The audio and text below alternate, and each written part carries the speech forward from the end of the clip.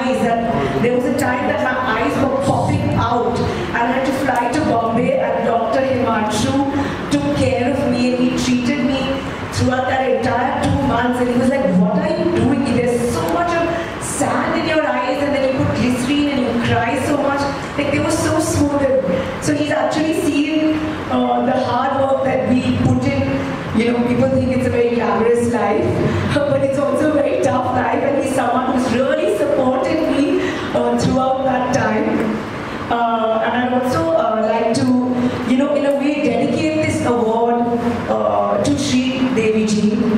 Um, you know, that I, I about Shakti and it's so strange that she was the producer of that movie. It was produced by Boney Kapoor and uh, Sri Devi. And I remember her being on the sets of that film. So I think I'd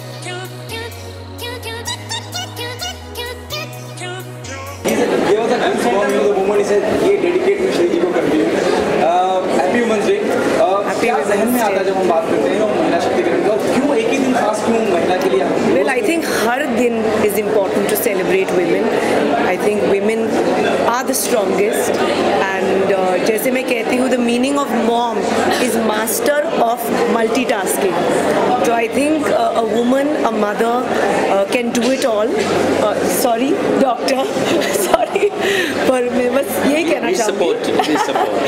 And thank you of course to Rotary Club of Bombay West for giving me this honour and you know recognising my journey in film and even post that तो बहुत ही अच्छा लग रहा है बहुत ही अच्छा माहौल है and it's a pleasure to be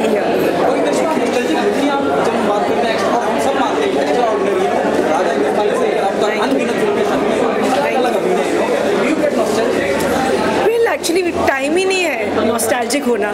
जैसे आपने याद दिलाया या यहाँ के अवार्ड मिलकर मुझे कुछ किस्से याद आए तो I think that's how we get nostalgic and I think the media and the fans keep me to get nostalgic so that's a good thing my God, that's a tough question because I would definitely say I have three uh, my mother, uh, my daughter, and my sister. And uh, all of them are not necessarily in that order, all of them are most important to me, all number one. Okay, apart from the last one, what have you? Well, uh, I keep myself busy. I do a lot of endorsements, lots of events. And uh, I film to pata nahi karungi ke nahi.